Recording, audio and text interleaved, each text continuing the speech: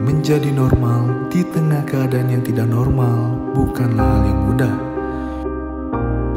Pengorbanan demi pengorbanan tiada henti tanpa lelah terus tercurah. Usaha lebih untuk perlindungan lebih tentu akan mencipta letih. Namun, aku tidak sendiri. Indonesia adalah kita yang saling menjaga agar dapat terus bersama.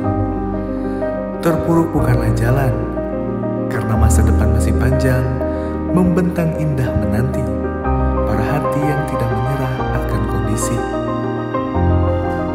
Namun, semua itu bisa dilakukan dengan inovasi.